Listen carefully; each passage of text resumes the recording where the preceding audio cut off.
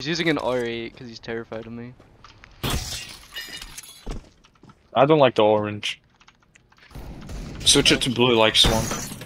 Or, what? Who was it? I think it was Swunk. Or Alex. Oh, okay, best. You going pistol? Nice nade. Yeah, of course I am. Awesome. Oh my god. You killed them all.